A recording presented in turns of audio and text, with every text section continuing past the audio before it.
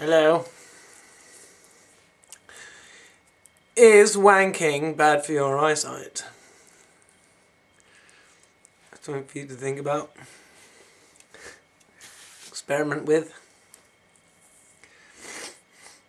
So I'm going to experiment with it. I mean, quite a long time ago I reduced my masturbating. And um, yeah, it's, now it's usually bath night, um, which is once a week for me. But um, I did. Uh, what what does usually happen is, so I've gone a week. You know, sometimes I've done two weeks, usually a week. But then, quite often I want. After having one, I want another one. So, you know, is reducing it to once a week um, helpful? Well, I guess it's better. Well, you you know you jizz right, so you lose all those millions of sperm for a bloke, or, and a woman, you know, their juices, whatever they contain, I don't know, might not be as bad, but um, there's still things that the body needs to replenish. So it could be that uh, it uses similar things for your eyes and that um, your eyesight can be poor through ejaculating far too much. Maybe. Because I've been trying to fix my eyesight for a while now and the way I've been doing it is just by not wearing my glasses as much as possible. And I've got to be honest and say I don't think my eyesight's improved at all. Sometimes I can see really clearly and sometimes I feel like my eyes are poor. So I'm going to experiment. They they feel quite good at the moment, and haven't jizzed since. When did I have a bath? Monday night. So it's only Friday. But yesterday I was getting really horny. Um, and I wanted to go and knock one out, but I I decided not to.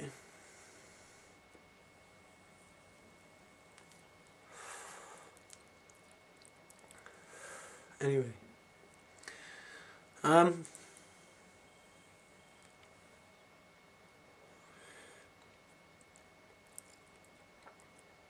So that's not really a serious matter. But it would be quite funny if if we found out it was. I bet a lot more people would start wearing contact lenses to hide the fact that they need glasses. Oh, and the blind people. Whoa! No, that was bad. I don't know. I haven't thought about it too too much. I mean, the blind is going to be probably something different. Anyway, that's not what this video is about. Um, this video is about two things. It's about AJ Miller's latest talks, all about the laws of God, which I think are pretty good and recommend you watch them. I'm going to give you a, a kind of a short, you know, in a nutshell thing. And the thing about AJ is long-winded, but without his long-windedness, he'd never be able to have accomplished kind of managing to sort of really try and see the the big picture. I mean, it's a challenging thing, and and maybe he's forgotten a couple of laws or principles, but anyway, very interesting and very good. So that's one thing.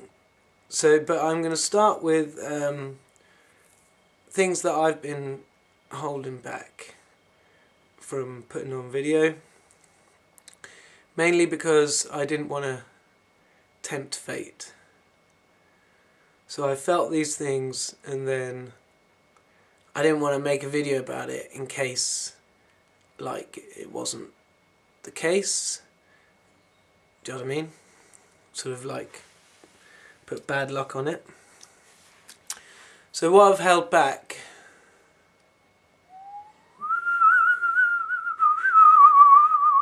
something that happened back in October I think. So I was sitting there meditating and um, this feeling came towards me and it was negative but really smart really smart but it made me doubt everything you know me including God made me doubt God had this so when a feeling came comes to me in my soul, it's like I could shake out of it, but then obviously I know it's not gonna go away. So I usually make the decision, let's go with this. And um, so this feeling came, and I went with it. And uh, yeah, it just it was just making me doubt everything and my um, at the time what I was think I was thinking I suppose about the beast and the devil and and things like that. Um, well, I came to the conclusion that what I'd felt was the devil. But what I'd been thinking before about the beast and something, I'd come to the conclusion that it was not a person. That um, God isn't going to leave any of his children behind. That, But that a devil, the devil, did exist. And um, what I believe it is, is through our sin over the last 6,000 years, we've kind of created like a, a new aspect of God in a sense. Because when I say this thing's clever, it like knew everything. Like, like it had the knowledge of God. And so my understanding was what we'd created was something with God's personality and knowledge and intelligence, but a, negative aspect. Right. But through me having felt this and got through it, somehow after that, somehow was locked away. You know, maybe for as long as I live, I don't know. I don't know. So that was that. So that happened back in October. And then towards the end of November, which I have said about, I had these really strong feelings about being hugged by God, basically feeling God so closely that I'm like enveloped in God, like an envelope. But I said that anyway, I put that in the video.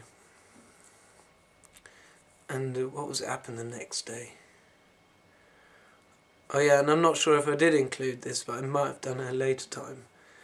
Um, suddenly the realization that there are other people in maybe other universes, and the and the and the the enormousness of that hit me. I felt that really big, but I think I have mentioned that, so I wasn't holding that back. Right, so then we come up to about a month ago.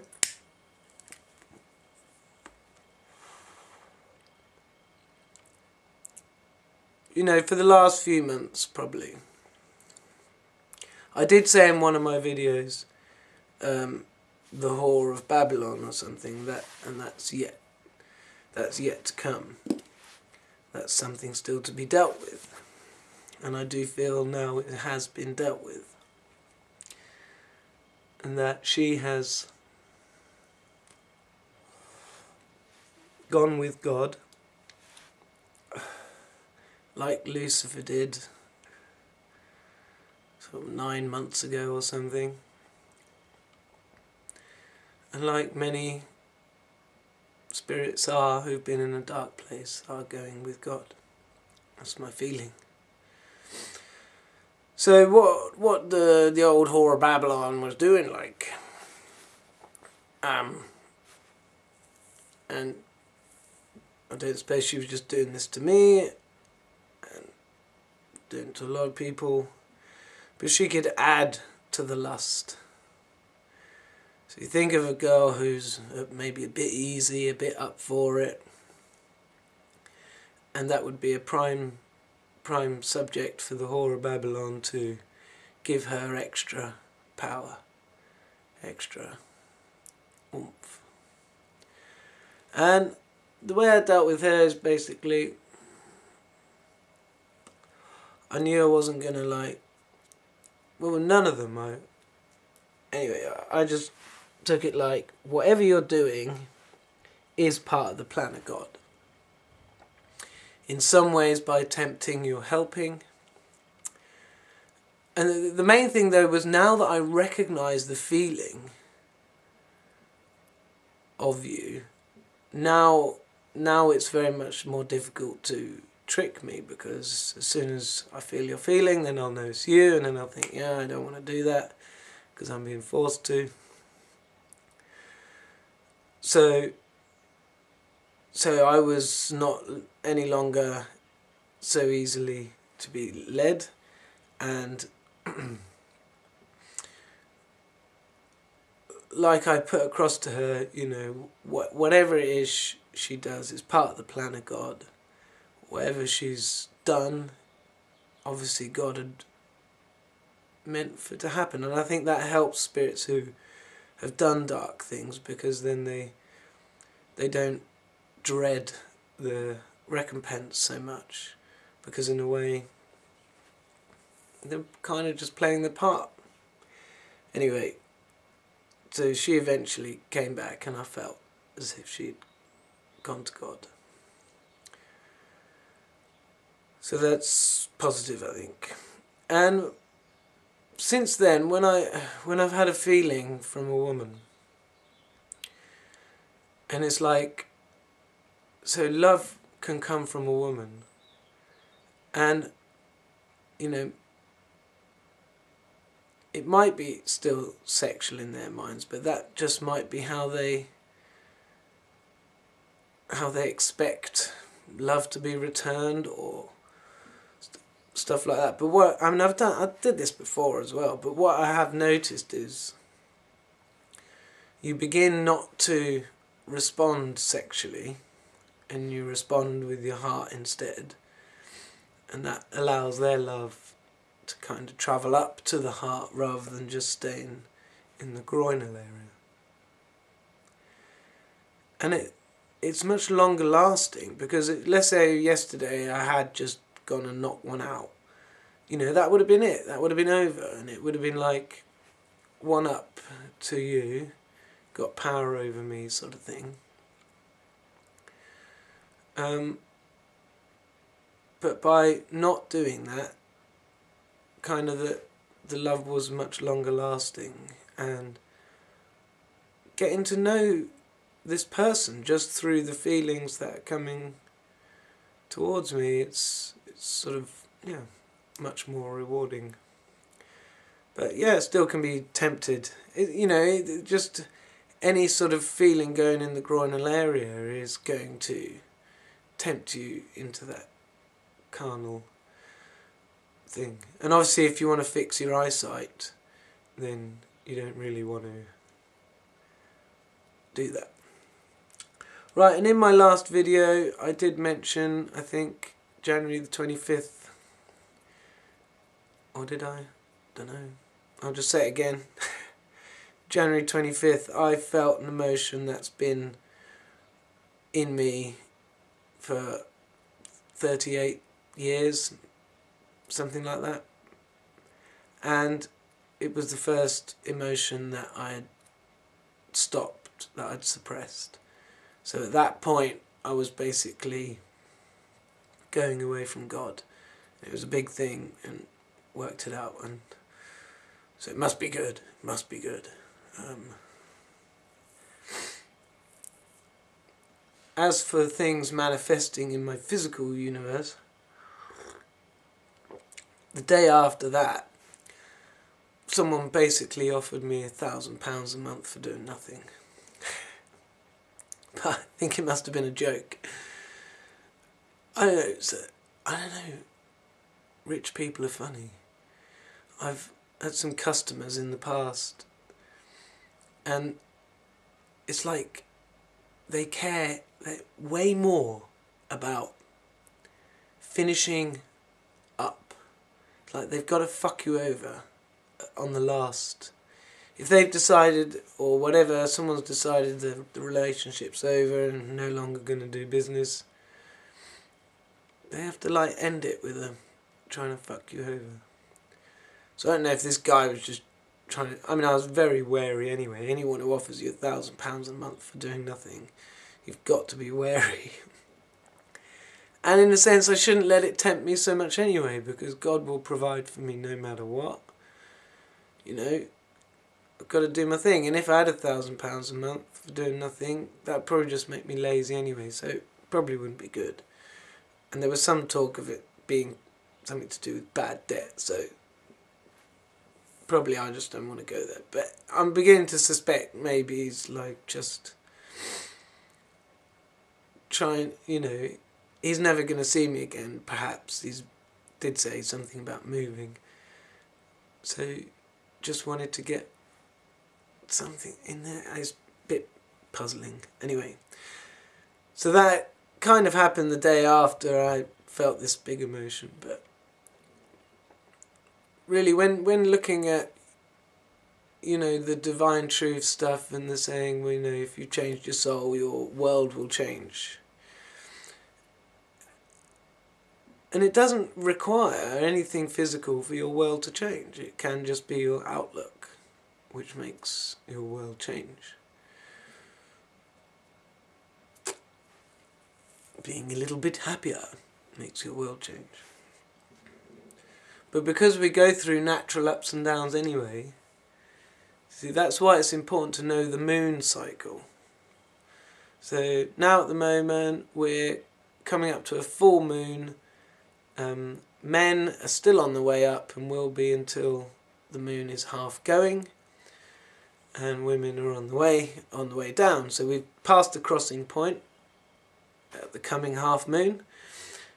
We've passed that crossing point, men.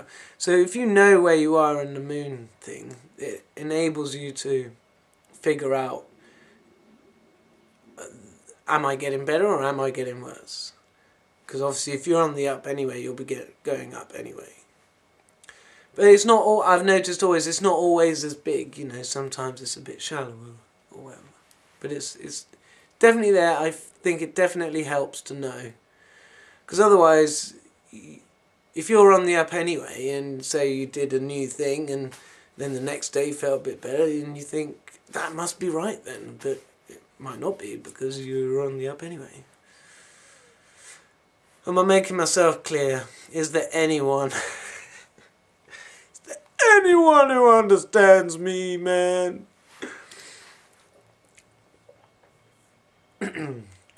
I try. So is there anything else that's been holding back? I didn't think so. I think you've got it all. It's the night. It's the night you are for real. I need some love like I never needed love before. Why is that song in my head? The old Spice Girls.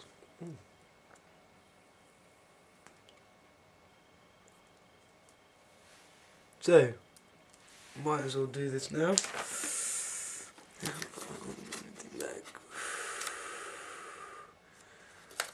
So it's all pretty good, isn't it, really? I mean, good times are here. I mean, I don't know what's going on with Trump. Like, uh, people have mentioned about his tendency to bluff.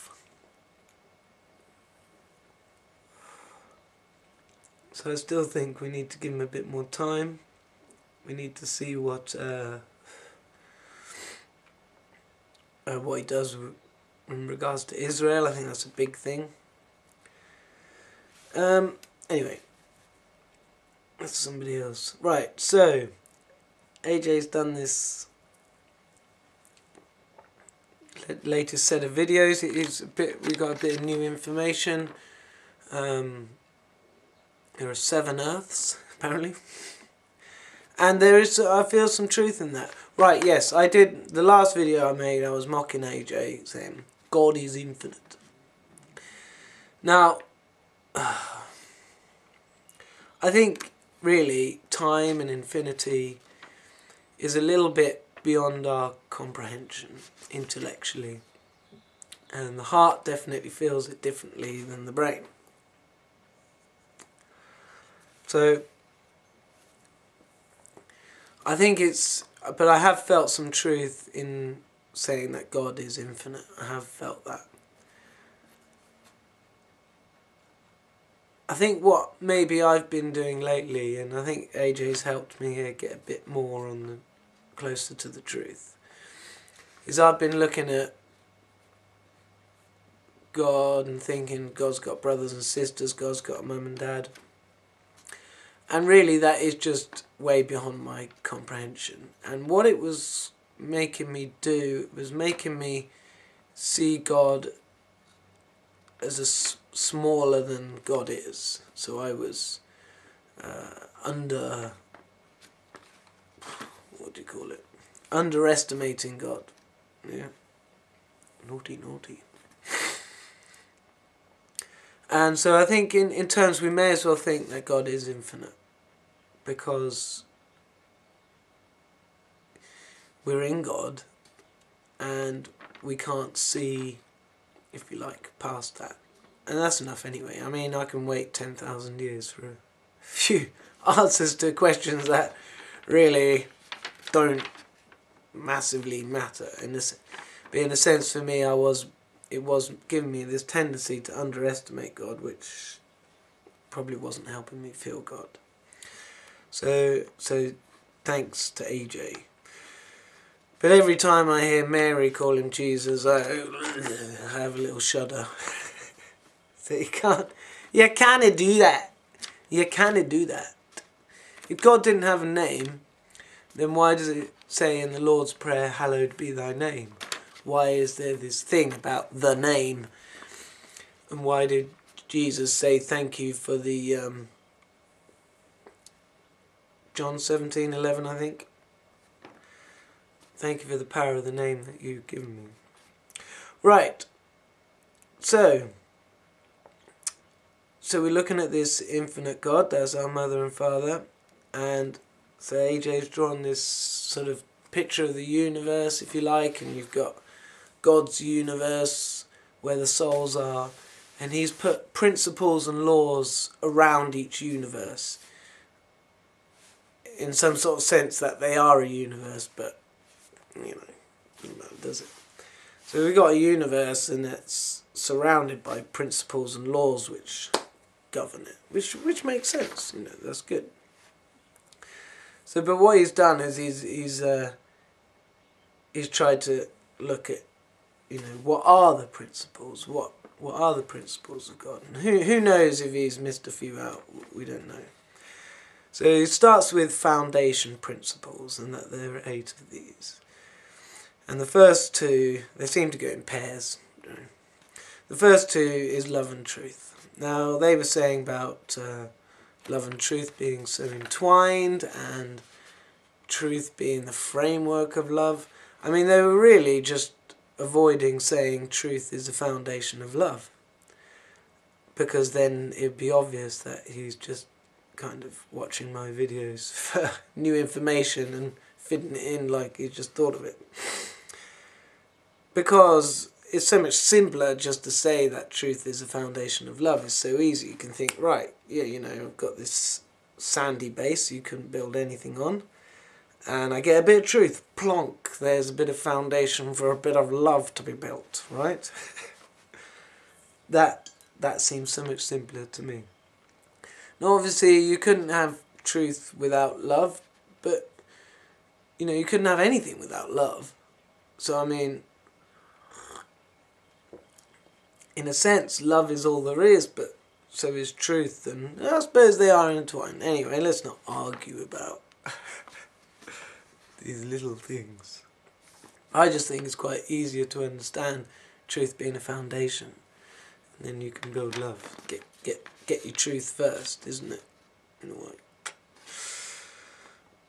Okay, so I mean, we obviously know love in its vastness, so we could talk about that forever. And truth's pretty plain, simple. Truth is truth.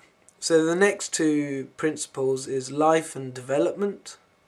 So all of God's principles are basically that life can flourish and and develop.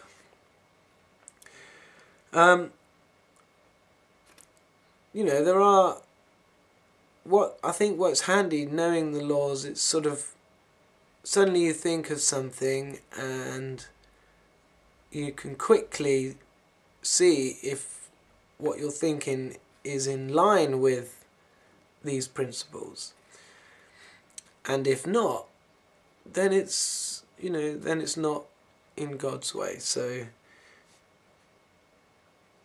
you know you'll be breaking the law if if you do it. And these and these laws are in a sense, he did make a point at the end that you don't need to know any of these laws. The way the way God has made everything, that a child could progress quite well. Yeah. Uh, next two principles: economy and function. And God's economy is, in the sense of um, abundance with no waste. Very clever. Very clever because you know I, someone brought us up before how God is abundant, but then I thought myself, you know, um, God wouldn't be wasteful. So it's a way of being efficient without being tight. Quite difficult. And what you say about function principles, you know, everything will have a function. In fact, probably everything has more than one function. So you know, and I, I've when I've made things before and I've managed to make something that, oh, and also I can do this with it. You know, it's a good feeling, isn't it? So it's good. So all everything God creates will be multifunctional, which is good to think of. Well, if you think, you know, why is that tree in my garden? Um, yes, I believe you can eat the berries, but why? Why is the thing full of thorns? And I thought, actually, hmm, those thorns could be quite handy if you if you only had nature to rely on. Uh, that thorn could aid sewing somehow. Um, yes, you could use it for hunting. Not that we want to be hunting. And I even wanted to see if I could get a thorn and um, bang bang it into wood. a little bit of the thorn does go in, but then as soon as it's about that far in, give it another whack and it, and it breaks. Now then maybe there's things you could do to harden the thorn. Might be able to bake it in the fire a bit. I don't know, that probably would make it softer. But, you know, I'm sure if I spent a bit more time there'd be other uses, um, of course loving uses. So to sort of to look into um, that multifunctional. See, I just thought of another principle or law. I mean, maybe cooperation. I don't believe that's here. So, because I see nature cooperates. It doesn't. It does may appear to be competing, but it's actually cooperating for the big whole. Anyway. And the next two foundation principles is permanence and scope. So kind of anything God does is permanent. And scope's all about um, the complexity of the thing. And the more complex it is, uh, the higher it is. And we'll get onto hierarchy next. so the the example that AJ was using throughout this was um, for scope. He was saying, well, you've got an oxygen atom and hydrogen atom. They're governed by laws, and when they connect together and make water, now they're a more complex thing. They're governed by higher laws. Blah blah blah blah. And you, we've got water in us, and so every thing that goes on in our bodies, and then and that us, our the human soul is the most complex creation that God has made. So that kind of shows how important the soul is. And so what I found is good about this soul, uh, these principles that he said about is that, okay, so I'm meditating and I'm feeling my soul, and then I have to like, you know, I have to keep believing that, yes, this is worthwhile, and yes, I could be doing something here. So when um, AJ explains these principles, and you do see how everything fits in and then that gives me a bit more confidence that yes, I am actually doing something and I'm doing something with my soul. And the feeling I get is there's nothing better than I could that I could be doing, even making these stupid videos, and and that feels like truth. Right, so we get on to the next set of principles, which is order principles, and there's four of these. And to me, these kind of all sort of clink into one um, in, in a sense. But let's go through them. Um, and these are about how the soul affects things. Okay. So we've got hierarchy, governance, responsibility, and compensation. So the hierarchy there, like you got you got you can work out hierarchy from scope, but he was saying anytime um, a bit of God's love comes into somebody's soul, that makes them and they have some sort of transformation goes on. Um, that makes them more complicated than the next man, and therefore puts them in a higher condition, and their soul kind of govern you know, say to the other souls around, hey look, I'm the one in charge here, you know. But with humility I guess. Just yeah. Governance, so that is then, you know, things that are higher up kind of govern things that are lower down. Responsibility, yeah, you see, I don't, I mean, I, I can't even remember the talks but responsibility, the way I see that, is basically you understand that everything that happens in your life is kind of a reflection of what you are doing. So, you know, you can't sort of just moan, oh, I stepped in shit, oh, why me, and, you know, just moaning about it. Just accept it, you know, you stood in shit. There must be a reason why. And then uh, lastly, compensation. So, yeah, it's pretty straightforward, isn't it? You get, you get your karma. You get your karma. Uh, then we've got human soul specific principles. Now, this was pretty good. This is pretty good. And again, we got four. Now, he started with will and desire. And I felt he could have, and he did in the end. Basically, the way to explain will and desire is to explain the differences between them. And your will is now. Your will is what you feel like doing or your state right now. That is your will. Your desire is where you want to go.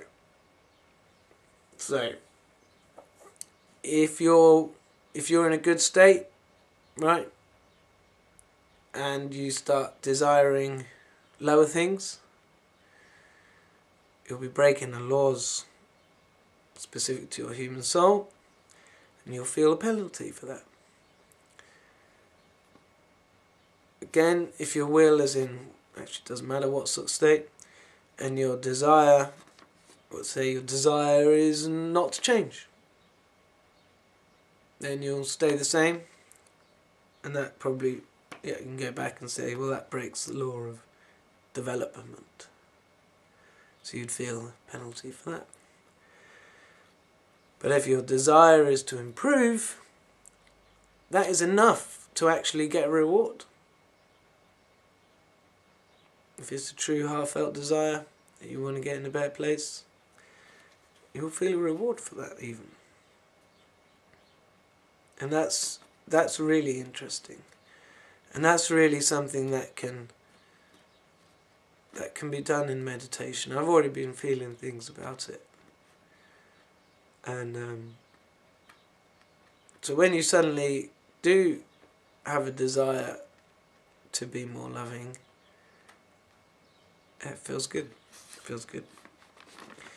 And and also just to you know not and you made a good point here as well. Not to worry about failing. If if you want to try something, just try it and don't worry if you fail. I mean, and the fact that if you had good intention and there was a desire to improve, um, do you know what I mean? You'll feel good for it and you'll learn from whatever you do anyway. So, yeah, just do it, baby. Okay, and then we got redemption. So, that's kind of coming into repentance, I suppose. You know, you've got to you've got to understand that you've and he talked a lot about here about natural redemption and sort of godly redemption. So what he was saying is without God what would happen is your emotions would build up and up and up and then like a, a steam vent would suddenly get blown out and probably it would require something in your life like a car crash or something like that.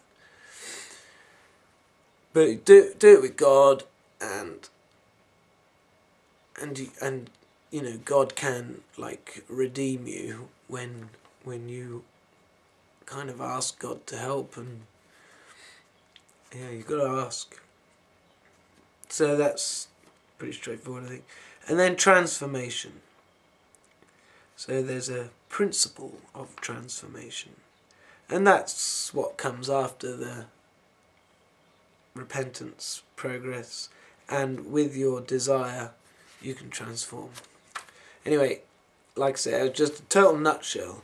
I mean, there, there is part of me that thinks, to a certain point, AJ could have done his whole talk in one day and just given people the information. But if he wants to take a week, takes a week, you know, I mean, drag it out and I think that's the reason he does do that because he likes to be meticulous. He he likes to make sure that no one can confuse what he says. I don't do that at all. You know, I just speak willy nilly, get it off my chest. It's on video, whack it on YouTube. Okay, done. Um, because what, what I think's gonna evolve anyway, hopefully. But you know, so so I, I can understand how how he does it the way he does it. Um, so I think yeah, there's a lot of lot of good food for thoughts, and he said about there being seven Earths. That was very interesting. And he also said something about the physical body um, replaces every cell after a period of seven years. And apparently the spirit body does this in seven hours. So that's something to think about, but I don't know about that.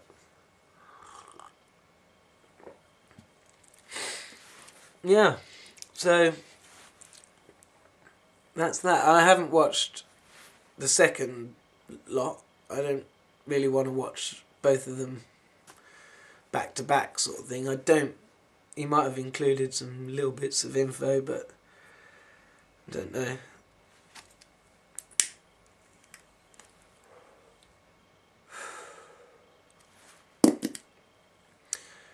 Yeah. I don't know, I'm feeling a bit funny today. I'm a bit, yeah, not quite on it. Don't know what's going on.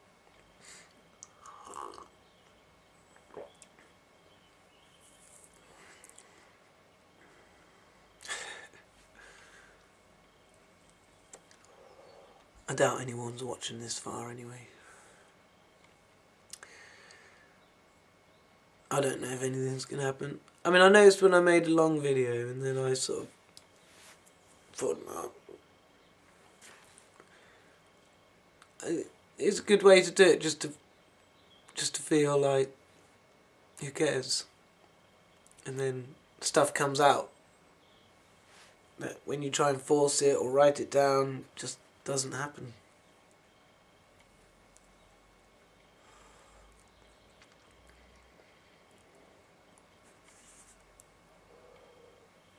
But anyway, I think I said what I wanted to say. I just really wanted to get those things out so so that they're out. Because when someone else tries to take the credit for what I've done, I can say, no, look, uh, did this video.